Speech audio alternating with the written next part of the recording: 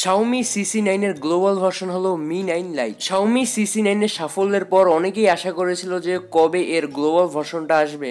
So অপেক্ষার অবসান শেষ, এসে গেছে মি নাইন লাইট এবং একটি সূত্র থেকে জানা গিয়েছে এটি বাংলাদেশ অফিসিয়ালি লঞ্চ করা হবে। আর আমার চ্যানেলে চলছে পাঁচটি মি ব্যান্ড ফোর এবং দুইটি রেডমি ইয়ারডটস এর গিভাওয়ে এবং আজকের এই ভিডিওতে এই গিভাওয়ে এর রুল সম্পর্কে ডিক্লেয়ার করা হবে। So as always রাফিতু and you are watching Rafiq gadget reviews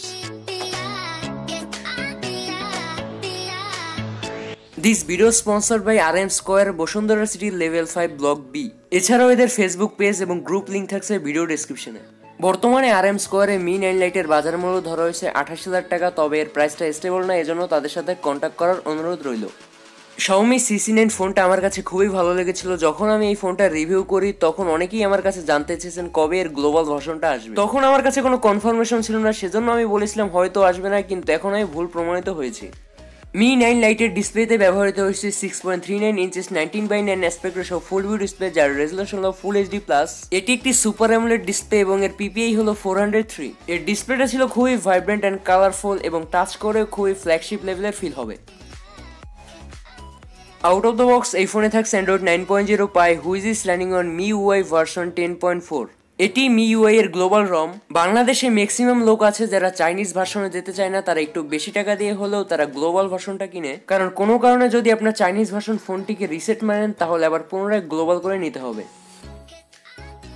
me nine লাইটের ব্যাটারি সেকশনে ব্যবহৃত হয়েছে ফোর থাউজেন্ড থার্টি এমএস একটি long lasting battery four thousand mAh এর ব্যাটারি মডারেট এবং হেভি ইউজারদের জন্য পারফেক্ট একটি ব্যাটারি এই ফোনে আরও থাকছে টাইপ সি পোর্ট এবং এর বক্সের সাথেই দেওয়া হয়েছে একটি এইটটি নটের ফাস্ট চার্জার আর এই ফোনটি চার্জ হতে সময় নয়, এক ঘণ্টা বিশ মিনিটের আশেপাশে। এই ফোনটিকে আমার খুবই লাইট ওয়েট লেগেছে, এর ওজন হলো মাত্র one hundred sixty nine gram আর এই ফোনটি খুবই হ্যান্ডি এর ফলে এক হাতে খুব স্বাচ্ছন্দ্য ইউজ করতে পারবেন। সিসি নাইনের মতো এরও রিয়ারে ব্যবহৃত হচ্ছে ট্রিপল ক্যামেরা সেট যার মধ্যে প্রাইমারি হলো ফর্টি এইট মেগাপিক্সেল, যার aperture f one point eight secondary ক্যামেরাটি হলো এইট মেগাপিক্সেল, একটি আল্ট্রা ওয়াইড আর থার্ড ক্যামেরাটি হলো টু মেগাপিক্সেল, একটি ডেপ সেন্সর এরও ক্যামেরায় বেশ কিছু মোড ইউজ করা হয়েছে, আর এর ক্যামেরার সিসি নাইনের ক্যামেরা একদমই সেম সিসি নাইনের ক্যামেরাটা কিন্তু খুবই ভালো ছিল, যেটা আমরা সবাই জানি। আর সিসি নাইন এবং মি নাইনটির ক্যামেরার মধ্যে সিসি নাইনের ক্যামেরাটাই উইনার হয়েছিল। অন্যদিকে ফ্রন্টে থাকছে thirty two megapixel selfie camera যার aperture f two point zero video করতে পারবেন সর্বোচ্চ ফোর কে থার্টি এফপিএস আর স্লো মোশন করতে পারবেন সর্বোচ্চ nine sixty FPS.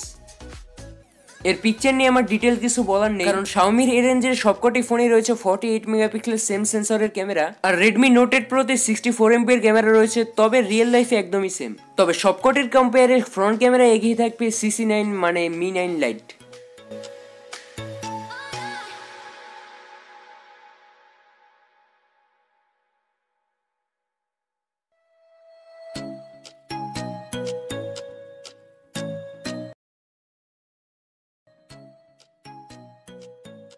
Mi nine লাইটের চিপসেট হিসেবে ব্যবহৃত হয়েছে কোয়ালকম, স্ন্যাপড্রাগন, সেভেন টেন।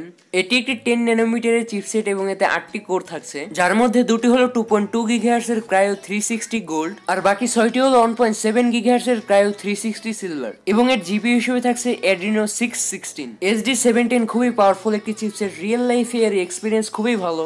এই ফোনের র্যাম থাকছে সিক্স জিবি ও রম থাকছে one hundred twenty eight GB. এই ফোনটি ব্যবহার করতে গিয়ে আমি কোনো রকমের কোনো প্রবলেমে পড়িনি মানে কোনো রকমের কোনো হ্যাং ল্যাগ স্টার্টারিং আমার চোখে পড়েনি। আর এই ফোনে এসডি গ্রাফিক্সে হাই ফ্রেম রেটে পাবজি খেলা পসিবল ছিল এবং পাবজিতে কোনো রকমের কোনো হ্যাং ল্যাগ ছিল না। আর পাবজি ব্যতীত যেসব হেভি গেম থাকে, যেমন Asphalt nine Brother in Arms Modern Combat five এছাড়াও সবগুলো গেমই একদম আরামসে চলবে এই ফোনে। আর গ্লাস বিল্ডের ফোন হওয়ায় গেম খেলার সময় মোটামুটি ভালোই হিট আপ হয়, তবে সেটি সহনীয় মাত্রায় ছিল এবং কিছুক্ষণের মধ্যে ঠান্ডাও হয়ে যাচ্ছিল। সিকিউরিটি হিসেবে মি নাইন লাইটে ফিঙ্গারপ্রিন্ট এবং ফেস আনলক উভয়ই থাকছে। এই ফোনে ব্যবহৃত হয়েছে ইন ডিসপ্লে ফিঙ্গারপ্রিন্ট স্ক্যানার, যা ছিল খুবই ফাস্ট। বর্তমানে বাজারে এই রেঞ্জে যতগুলো ফোন রয়েছে, তার মধ্যে সব থেকে বেশি ফাস্ট লেগেছে এর স্ক্যানার। কিন্তু ফেস আনলকও টেস্ট করেছিলাম, যেটি ছিল সফটওয়্যার বেস কিন্তু খুবই ভালো পারফর্ম করেছিল। আর এই ফোনের ডিজাইন নিয়ে বলতে গেলে খুবই সুন্দরের ডিজাইন, এমন কেউ নেই যে এই ফোনটির ডিজাইন তার পছন্দ হয়নি। আর ভিডিওর লাস্ট পার্টে চলে এলাম, এখনই এই ফোনটি কেনার দরকার নেই, কিছুদিনের মধ্যে এই ফোনটির দাম কমে যাচ্ছে, তখন গ্লোবাল ভার্সন হিসেবে খুবই ভালো একটি চয়েস হবে এটি। এবার কথা বলব গিভ রুলস নিয়ে।